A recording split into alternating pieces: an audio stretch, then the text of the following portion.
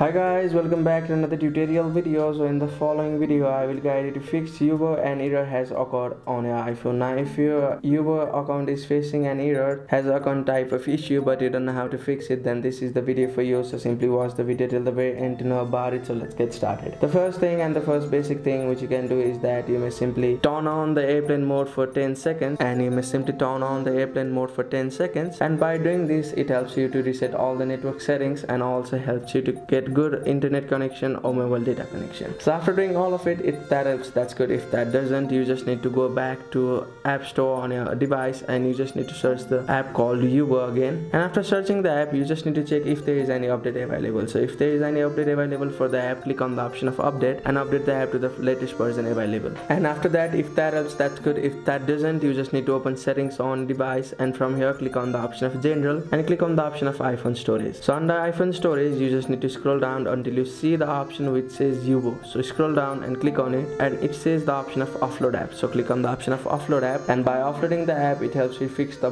bugs or the error which are currently happening on the app. So click on the option of reinstall it again to reinstall the app and it helps to fix an error has occurred type of problem. So that's it. Thank you for watching the video. Please don't forget to like the video and subscribe to our channel. Thank you.